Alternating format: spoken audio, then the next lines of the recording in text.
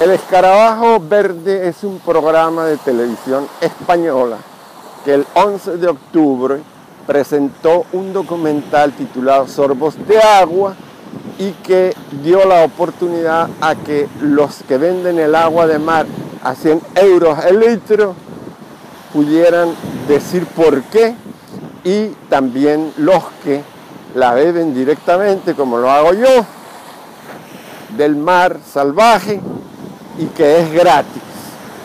En esta propuesta, Laboratorios Quintón justifica sus 100 euros o 135 dólares por el litro de agua porque ellos obtienen el agua de mar en un vórtice,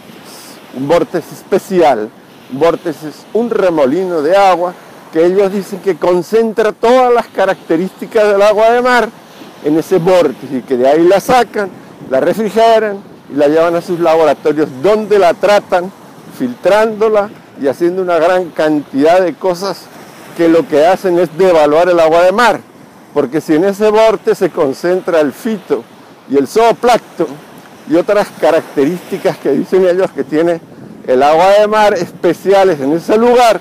resulta que cuando lo llevan allá a los laboratorios la filtran y todo lo que sería el fitoplancton, la cantidad de características de la sopa de mar queda fuera de lo que ellos van a embotellar o a poner en ampollitas, ampollitas que 25 de ellas de 10 centímetros cúbicos sean hipertónicas o isotónicas, van a venderlas para que la tomen la gente y descalifican y devalúan el agua de mar, pero además dicen que el que no beba ese agua de mar estará expuesto a tener peligros de enfermedades, lo que equivale a bioaterrorizar al personal. De otra parte, el hecho de que ellos digan que esa agua de mar es especial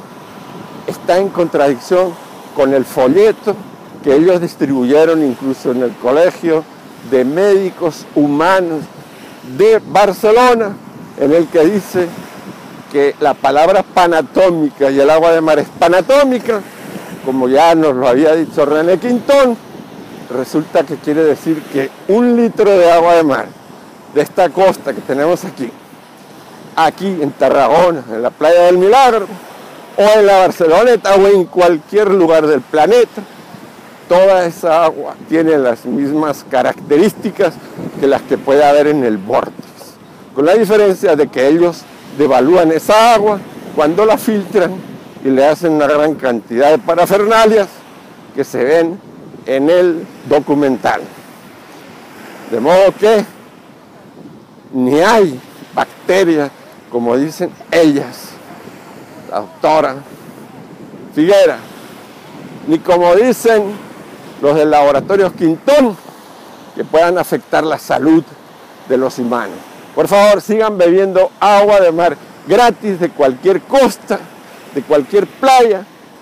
y si quieren regalar su dinero a los laboratorios y a todos los que venden el agua de mar, pues de todas formas están difundiendo el agua de mar, están socializando el agua de mar